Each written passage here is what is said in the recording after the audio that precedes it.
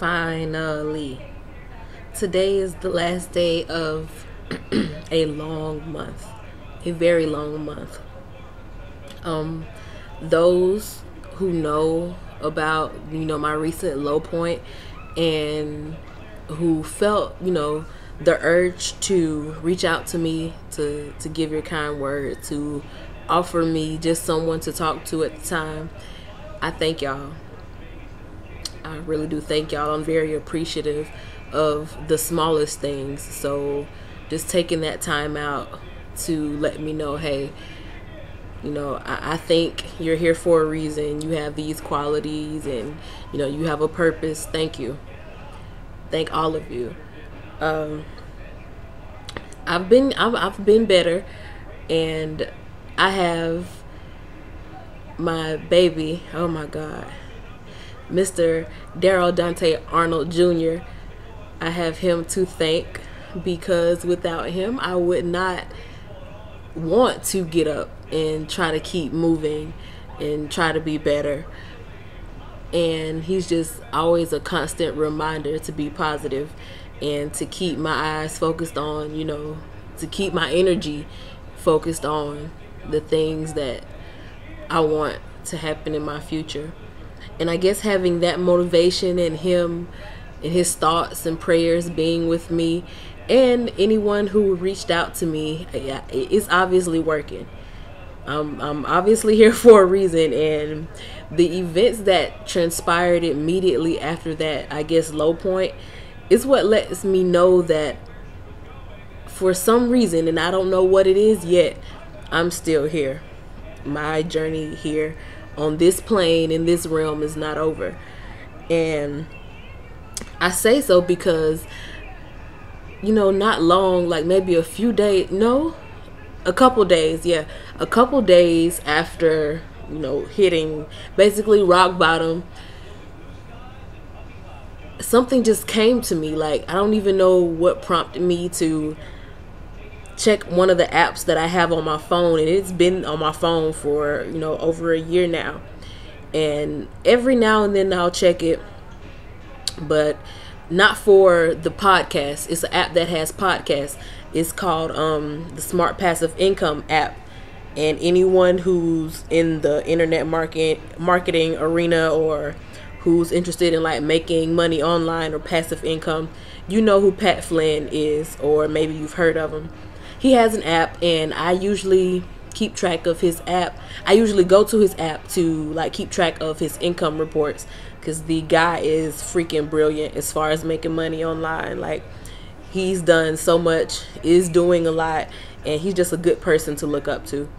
So, uh, I was looking for one of his latest income reports and just decided to go look at some of the we'll go listen to some of the podcasts that he does.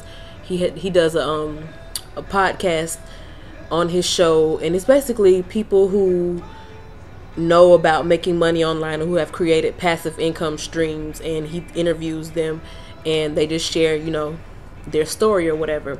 Well i ran across episode 99 and that's a very popular episode apparently because I googled that episode because I was looking for the link and I typed in S you know smart passive income episode and episode 99 was an automatic suggestion from Google.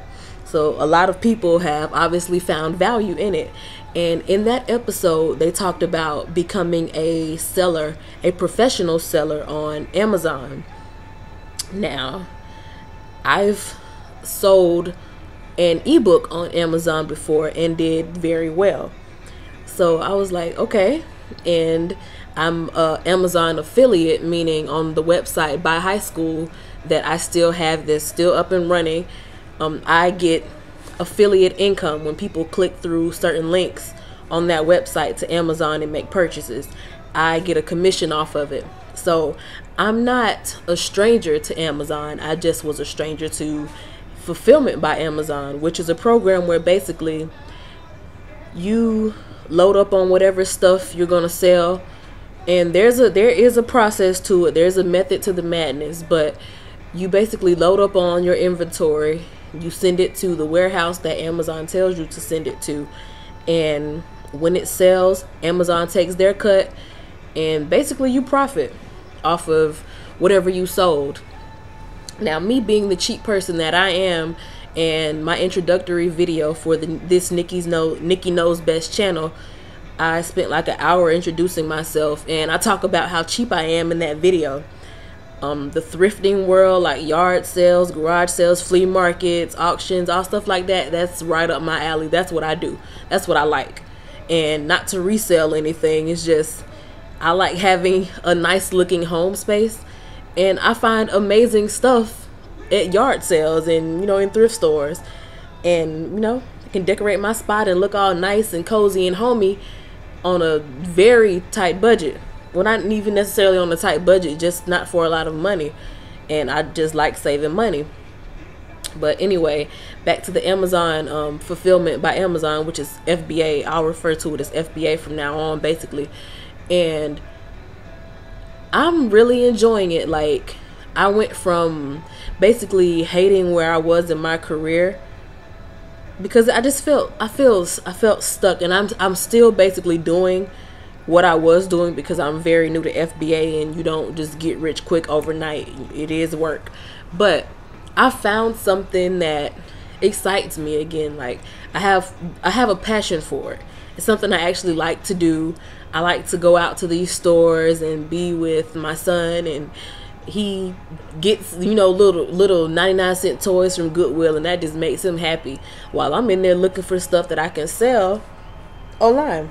And I'm going to be doing a lot more videos sharing what it is because on the surface it just sounds okay you selling stuff on Amazon like what are you selling? How much are you selling it for? But it's in a, it's a lot of stuff you can sell on Amazon and it's a lot of money you can sell it for. Let me just say that. And I am currently like keeping a diary or a journal or whatever of everything that I do and the steps along the way to let it be pretty much like a case study for anyone else who may be interested because while I was learning how to do this, I was very interested in seeing how other people you know, got to the point where they're profitable every month selling on Amazon. So I'm sharing my process too, and I'll blog about it. Um, that's still in the works, so don't wait around on it for now. I'm just doing things and taking it easy because, you know, just coming out of a, a period of depression, you know, a couple of just a couple of weeks back, it's not like boom, I'm happy again. No, I'm. It's it's a one day at a time type thing, and I found that being open about it is a lot better than holding it in and feeling miserable whenever you're alone. Uh, the low point that I was at a couple of weeks back is not the first time I've been there. I've not had what one would consider an easy life by any means. So it's it's not the first time I've been there. But I always see the rainbow after I get out of that mood. So I'm just waiting on the next high period. For every down, there's a up. You know, for every low, there's a high. So having just reached that low point, I'm looking forward to the beautiful high that I have to be coming into sometime soon. And I have a little story about that, but I'm going to see how it plays out first and then I'll say it because I don't want anyone jinxing me and my good fortune in this situation that I'm talking about uh, I think I happened upon what sellers would call a treasure in uh, at a thrift store. Two treasures actually, and that means something that you bought for like maybe less than two dollars that could sell for over a thousand. That kind of treasure. And I'm just waiting to see how they perform on Amazon. I am very confident in what I have listed these products as and um, they are like new still sealed and manufactured packaging. Um, i'm very confident about the prices i listed them at after i did my research on how much they've sold in the past. So once that happens and once i have cash in bank account or cash in hand uh, i'll let y'all know how that goes. But until then be on the lookout for my next video. I didn't do too well with the vlog every day in august challenge obviously I was not vlogging every day in um, August with all of that mess going on in my life.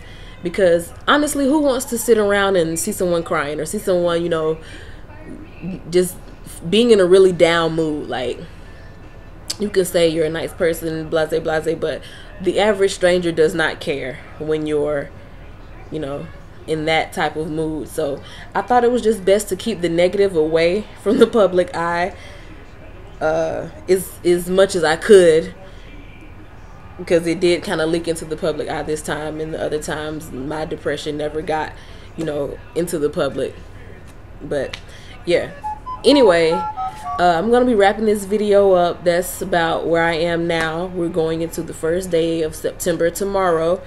And from there, I'll be tracking like my monthly sales with this whole selling on Amazon thing. I've registered for my seller's permit so I don't have to pay taxes on the stuff I buy. Um, I'm really putting a lot of effort into it. It's something that is giving me a sense of hope and happiness it what we would, would be kind of a dark period in my life right now so uh thank y'all for listening thank you everyone who subscribed so far uh anyone who watches and maybe you don't comment or maybe you don't like but you just watch and watch the whole video. That means a lot to me too. I'm a very appreciative person. I'm grateful for any type of you know well reception i get. So yeah. Uh see y'all in the next video. Stay tuned for the next installment of Nikki's No Nikki Knows Best. And just have a good one. It's the first of the month tomorrow. Have a happy September.